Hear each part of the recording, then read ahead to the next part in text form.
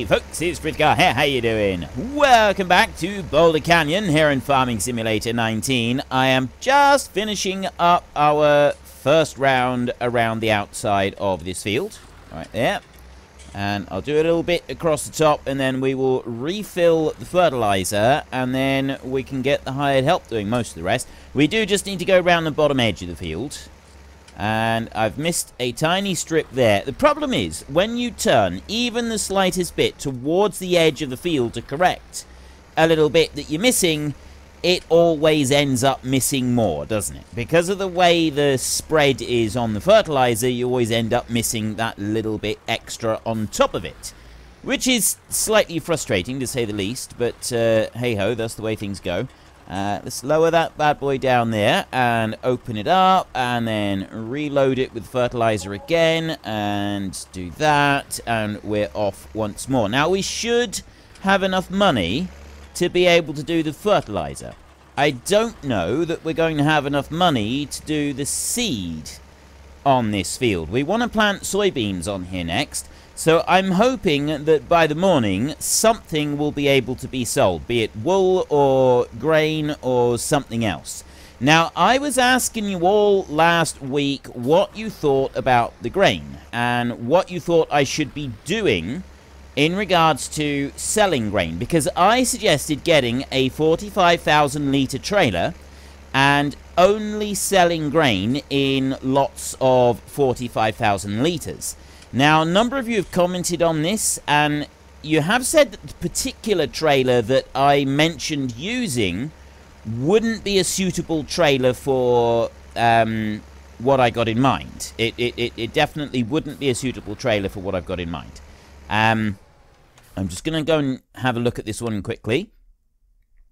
Actually, I'll tell you what. Before I go and look at that, let's just do this.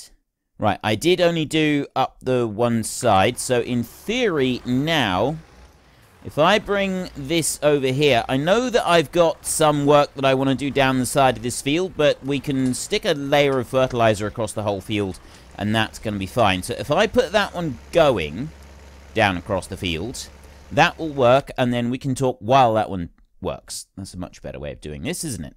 Um, right, trailers.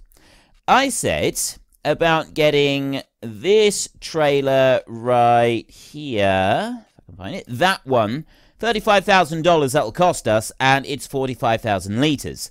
Now, the only real reason for buying that trailer is so that we can measure out a quantity and use that with the um, for selling grain. That would be the only reason. We wouldn't be able to use that one for the combine anyway because it would be too high. It, uh, it wouldn't fit over the combine. So that one wouldn't be an option for the combine. The only thing that would be used for is to measure out a quantity of grain so that we can sell it.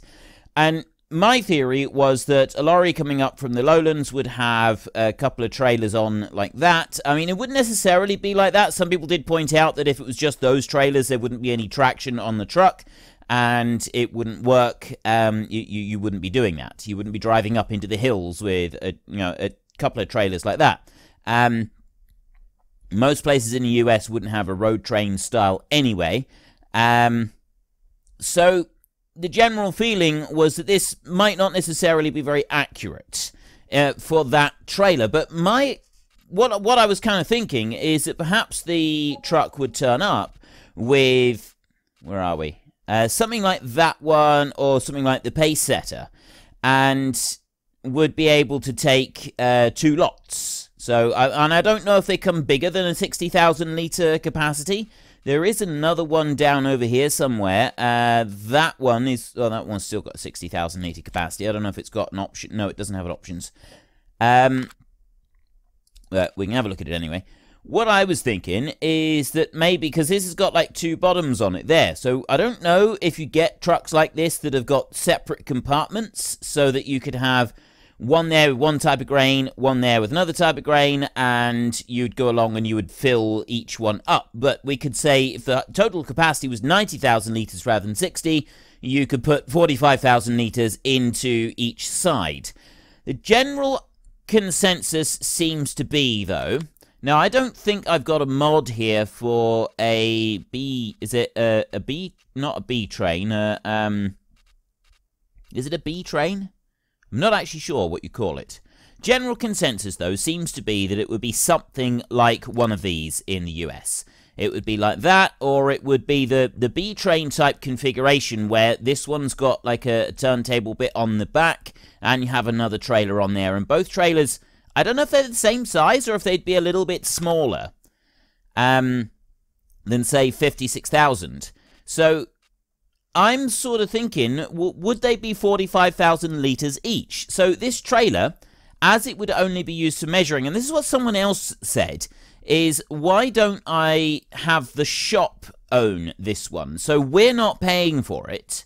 I mean, if I look in here, the initial, the leasing cost per day is $350. That's not very much. And I was kind of thinking that that $350 would sort of be, uh, if I was to just go and do the lease, I can add some money in. Um, that would be, uh, um, again, it'd be a bit like the shop owning it. And then we would be able to use it and we'd be able to tip the stuff out whenever we, we'd be, that's, that's how we'd be able to do it. The shop would own it and, um, you know, we'd have a leasing cost on there per day we wouldn't be using very much in the way of operating hours because the only thing that we would actually use it for is to go load stuff up from our storage tank and then take it over beside the red barn to the sell point and sell. So it would it, it's essentially it would be there. We would just use it to measure stuff out. So it's it's not actually kind of part of it. The three hundred and fifty dollars per day that would come from the shop would be for something different. I mean, I could change that round and not have it leased at all. We could, I could just add the money in for next episode and then um, buy it. So I might, I, I, I'm, I'm thinking I'll probably do something like that. Um, so 45,000 litres, you got that one there, it says 56,000. So if that was a 45,000 litre trailer, a little bit shorter, and then it had another such a trailer on the back, um, that is it is it a B train? I'm I'm not quite sure. What, I can't remember what they're called now. B trailer, B something. Um, but if you had two of those side by side, then yeah. Some people said that certainly in Canada and the more remote areas, it wouldn't be unheard of for a transport company to go and get a half a load.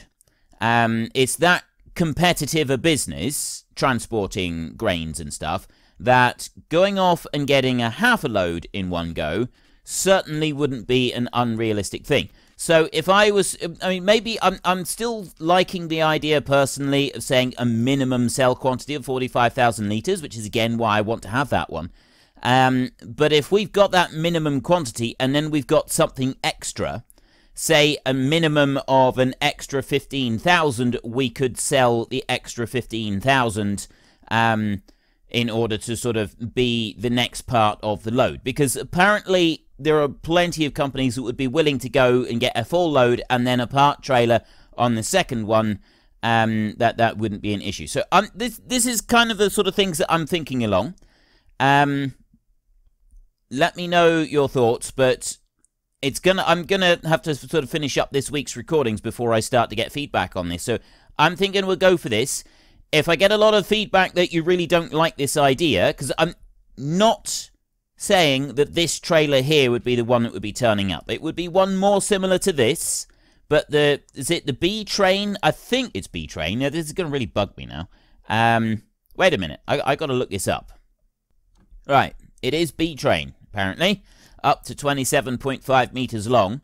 I don't know about quantities, but I do think that looking at the pictures of the various different trucks, um, something like that, but with a capacity of 45,000 litres wouldn't be far off. So I think I might be on the right track with having this one right here. And this is the one that we'll use to measure out the stuff. Um, so I'm going to actually lease that one now. I will add in a little bit of money. Um, I will probably add in the leasing cost that I'm going to have right there, plus 35,000, and I will buy that. So I'll lease it for now. We're not actually leasing it, it's the shop that's doing it. I will correct the money for next episode. So I will change that. I will I will add in Um, well, we'll add that. Plus, we got to move it. So we're looking at uh, initial leasing costs. Two thousand. I'll add in thirty-seven thousand dollars, and then have that as a purchase, and the shop will own it.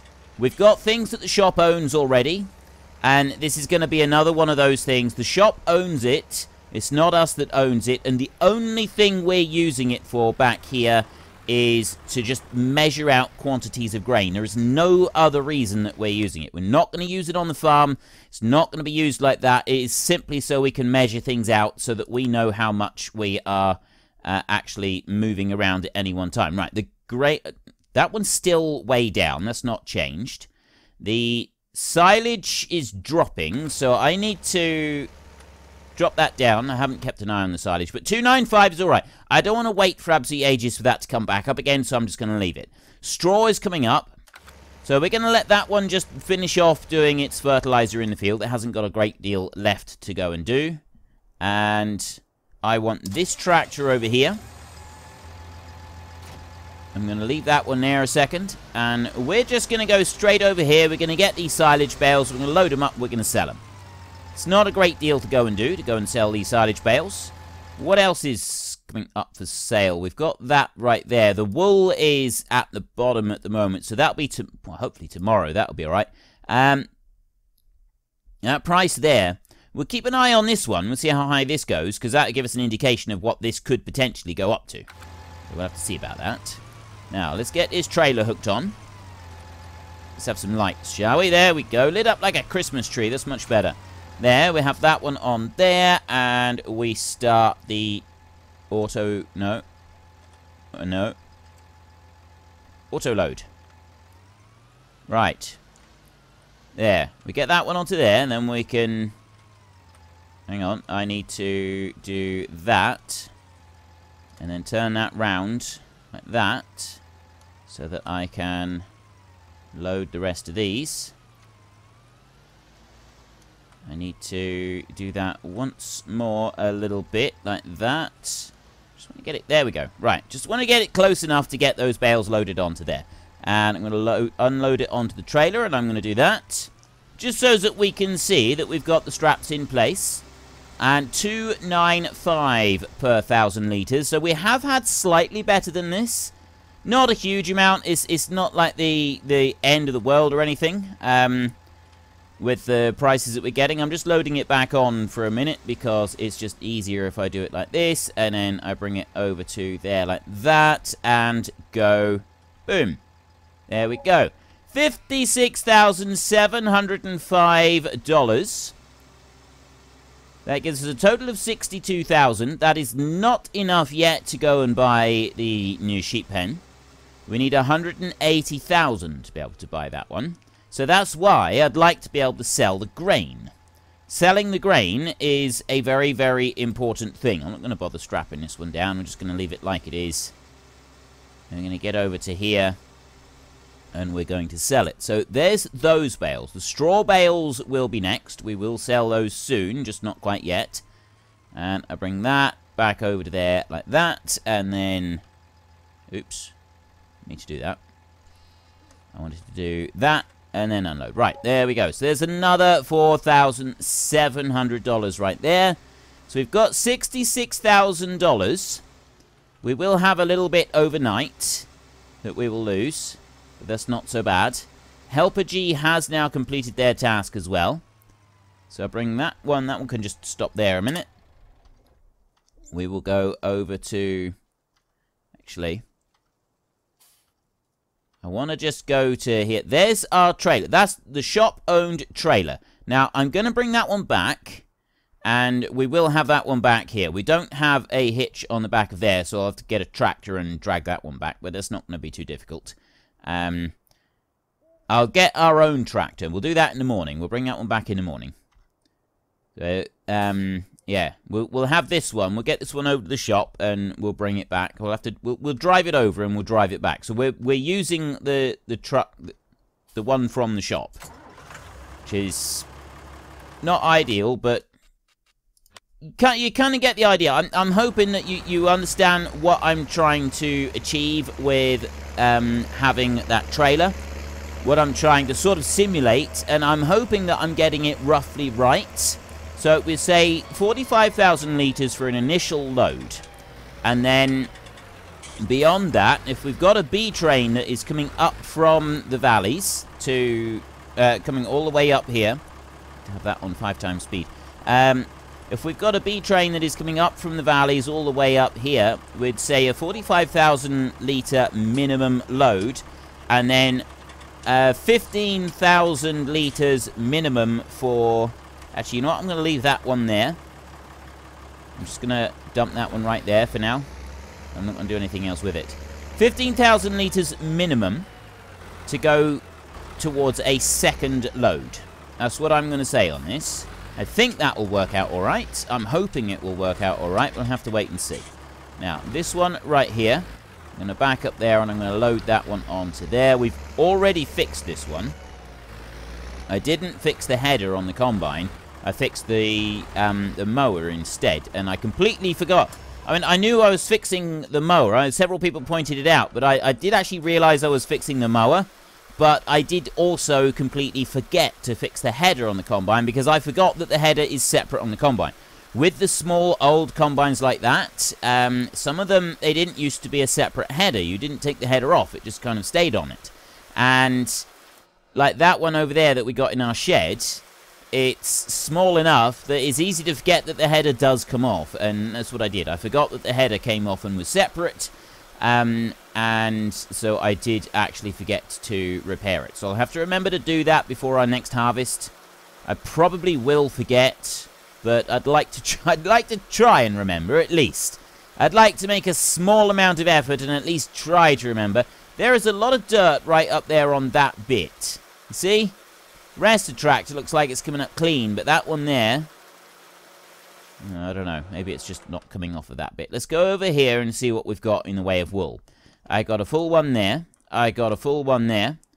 I've got 1,800 litres there. I've got 3,000 litres there. I've got 6,000... Okay, so I've got three pallets worth right there. I can squeeze all up together. Three pallets is pretty good going, I'd say. Cleanliness 75%. I'm not going to worry about cleaning them up tonight. It's about bedtime now anyway. 77 animals. Next to animal will be by morning. We'll have another animal in morning. 78 animals. That gives us one day to get the sheep pen or get some animals sold. I would rather get the sheep pen. So we'll go up here. We'll get some sleep. Some much needed rest. We'll have an 11 hour break. Alright. Morning has broken. Believe the blackbird may have spoken as well. We will go and hop into here. The sheep over here, not quite so clean. Water and food is fine. And an hour and a half, and we will have our 78th sheep in the pen. Now, as far as the sheep go, I don't actually have plans to buy any more sheep when we get the bigger pen. I'm just going to leave them as they are, let them carry on, uh, let them carry on reproducing. Uh, probably not a good idea to do that to my rake. Not necessarily going to sort of induce a, a, a long and healthy life for my rake if I go walloping the thing in that kind of fashion. So I've sold some stuff. I haven't sold all stuff, and I have more stuff to sell. We've got straw to sell, and we've got barley to sell. We've got quite a lot of barley, actually. We would like to be able to sell some of this barley. So that one is up at 686. Barley is going up. It's at 500. So I would say that if it goes above 600, we've got a reasonable price for barley. And for wheat, that goes all the way up to 686. I mean, yeah, above 650 would be best. But we'll see what it goes up to. And we'll use that. Wool is going up. Silage is currently from to uh, from almost 300, it's now down to 95. Straw is on 69. It's not going to go any higher than that, but 69 is not too bad. I'm happy with 69. So we will take our $69 per thousand litres and we will sell all of the straw that we currently own. We're not going to be buying cows or pigs just yet, so we don't actually need straw. The only thing that we're going to be getting is first a new sheep pen, and then after that we're getting a chicken pen, and we will be populating it with chickens. So, as I'd like to be able to get both chickens and um, sheep, and I'd like to sort of increase the numbers. Prob well, I say that we're not. I don't have plans at the moment to go and get more sheep, but I'm not going to rule it out. If we were to seed in an extra 50 sheep, that might help us along a little bit. It's not necessarily a bad thing, is it? Just squeeze that back there a little bit, and then I can go like that and like that. Go and take these over, and we will sell these. I will just stop time a second. Well, slow it right down to one. Just while we sell the straw. Over to there. I don't know why I bother doing the, the whole loading, unloading thing, just to bring it over to here. It's just that I like the weight on the trailer. It's, it's actually quite a cool thing, that the, um, the, the weight that it does um, put onto the trailer. Um, and it also looks quite cool when everything's all strapped down as well. I like the appearance of it. Okay, so there is $13,370 from those bales. We've got another half a load over here as well that we can go and collect and sell. So we're going to be pushing $20,000 just from the straw from this one harvest, which I don't think is too bad, really. I think that's pretty reasonable. So there, exactly half a trailer. I'm just going to leave it like it is this time. Um, we'll put it like that. We'll go over. Thirty, twenty thousand dollars from straw, plus what we get for selling the barley. Now I know that we've got two harvests worth for the barley, but still, um, that's not a bad number either. There's another six thousand six hundred. We had thirteen thousand three hundred. So yes, we've got just over twenty thousand dollars for selling the straw. That's just the straw alone from that harvest, which is pretty good. You know, that the field that we got there, we got $20,000 for the straw from that. Plus, we had all the money that we got from selling the silage in the grass fields. That was also pretty good. I'd say that overall, we've, we've done quite nicely out of that. I've got nearly another full pallet of wool over there. So once the wool prices get back up, we'll use this trailer again, and we'll be able to make a small fortune out of that lot. That's got to go back up to regular speed. Now, that one's fine. One doesn't need to change. We've got that one to watch, currently 522. And we've also got the wool to keep an eye on as well. That is currently on 850. We will wait until both of them have gone up to maximum. And then we'll change them over. Now, I'm off to the shop to go and get the least trailer. However, I'm sort of thinking that we're not actually I'm just wondering whether I want that one to be... Whether I should have even leased it in the first place. I probably should have waited. I, the reason I did it was because I wasn't entirely sure we'd be selling stuff before midnight, and I wanted to make sure that I had the item there. So what I will most likely do is we'll get to the shop, because this is going to take us the rest of the episode, I think.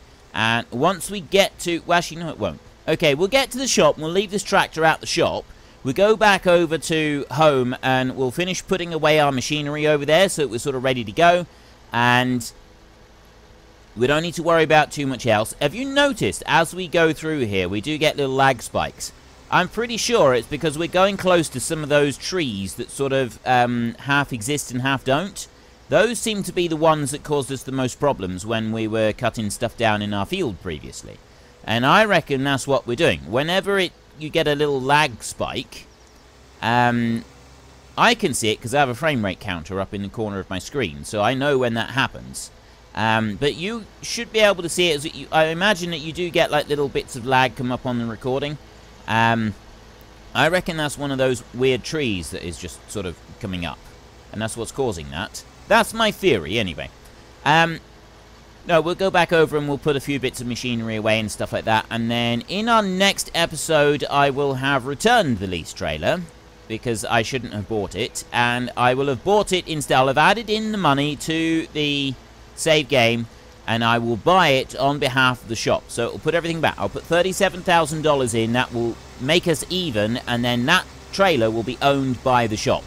The same as the case tractor and the truck and the trailer that are all at the shop as well. So it'll be owned by the shop. We won't use that tra- Ooh, steady, steady, steady. We're not going to use that trailer for anything other than measuring out grain. That's the only reason we're using it. And, um, because we're only, we're literally going to be moving grain from one side of the yard to the other. And you wouldn't normally need to go and buy a trailer for something like that. You know, if you're selling grain, you would just sell it straight out of your store, wouldn't you? You know, the, the person would arrive and they would take it straight out of your store and then it would be sold. Either that or you load it up and you cart it off to be sold. But loading it up in order to carry it from one side of your yard to the other, that's not a particularly realistic thing. So I think that having this trailer just to measure out a set quantity of grain and then um, have you know that that's that's uh, that's basically the merchant turning up, measuring out his grain, and then he's he's taking it away. And I think with the B trains, the um, the road B tra- is it B trains, B trailers, what whatever they're called, um, I think that 45,000 litres per trailer on those would be reasonably accurate.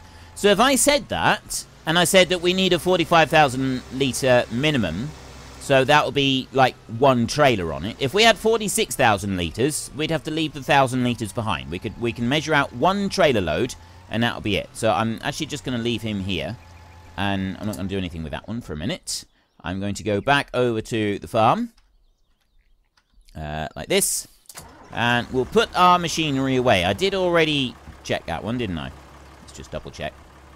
We can repair the tractor, and workshop tab. I love that workshop tab. We'll put this one away, and I could also do with putting the front loader on and just cleaning the sheep a little bit. So we might do that as well. Now, where did I put this one?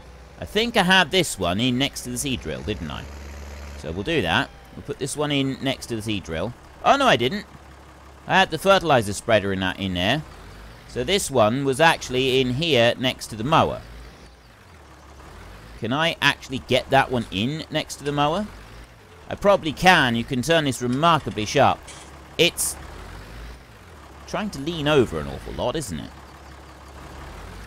But there, you can turn it round like that. Why is it dancing around like that, I wonder? Uh, okay, that's not good. And because of the angle that I'm using there, that's also not good. So I'm going to want to... Oops. No, I'm going to want to go that way. Why is it dancing like that? Okay, I have no idea why it's doing that. But I am going to go over this way a little bit. And I'm going to straighten out so that it's going to be a little bit easier to finish backing that one in. And I'm hoping that will stop it dancing around from side to side as well. It's a very peculiar thing that it's doing. Quite sure why it's doing that. It's probably something to do with the way the wheels are turning. That would be my guess. Uh, but there we go. We, have got it reasonably straight. So I'm, ju I'm just going to leave it there and think that that's a job reasonably well done. And we're not going to tempt fate. So next up, I've got nothing much in particular at all, actually. Okay. Uh, uh, I was looking for more... Oh, it's the trailer over there that we still got to put away. We won't worry about that one just for a minute. We'll go over here, we get the front loader on, and we'll tidy up the sheep. Um, I'll bring that one in there. So, yeah, a B train comes up, and it'll come up for 45,000 litres. It'd probably come up for 40,000 litres with the B train. Um, I mean, I don't think we should have him coming up for anything less than 40,000 litres. If we've got 45 and we've got an extra 15,000 for the second trailer, then yeah, that would probably be realistic from what people are saying. Um, and then I would... I personally would say that we could do that per load, per what we think would be a load on this uh, particular um, truck-trailer combination. But what I don't think we should do is I don't think that we should have uh, two full loads and then one at, say, 15,000 litres. Because that would entail the vehicle going away and then coming back just for 15,000 litres, which would be one third of a load, and that's all he's going to be able to get from us. And I'm not sure that I that that would sort of be enough. And yeah, I, I do hear what people are saying, the ones that said, you know, it's extremely competitive in places, and So going for a quarter of a load would be kind of realistic.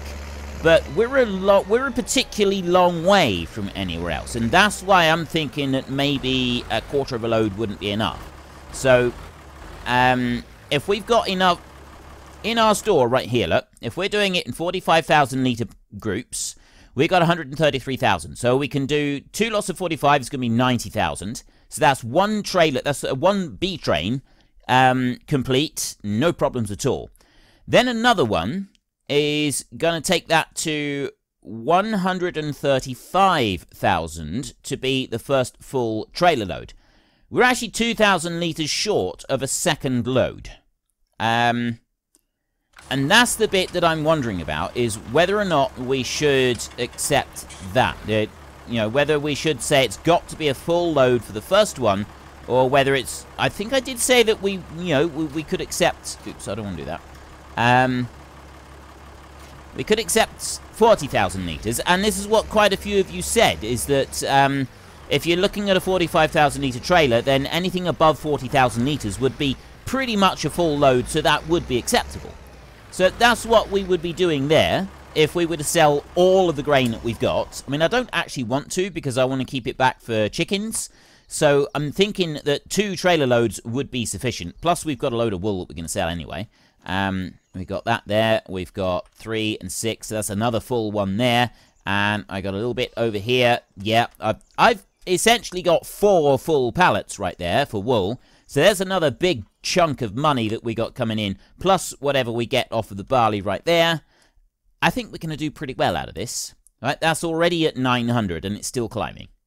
I do think we're going to do pretty well out of the barley and the um, other stuff. Anyway, I will see about this tomorrow. We will get that trailer back first thing tomorrow, and then we should also be in a position where ready to start selling. We'll fast forward time until the prices have stopped rising. We will sell grain. We will sell wool. And if all has gone well, we will have enough money to buy a new sheep pen, which we will put over there somewhere. We may have to cut down some more trees to make room for it, but we'll deal with that when we get to it. So if you've enjoyed this episode, then please head down below and give us a like. And if you really enjoyed it, then please tell your friends all about me. Get them to come and watch as well. That would be awesome. And until next time, thank you very much for watching. This is Frithgar. Goodbye, and see you later.